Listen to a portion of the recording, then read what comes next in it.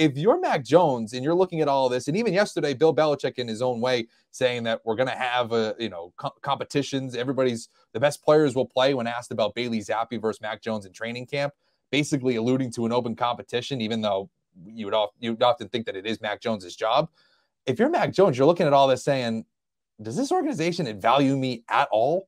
Like, are we going to have a mad Mac Jones going into 2023? And is he somebody that's going to have a bad attitude about this? Because I certainly would if that were me.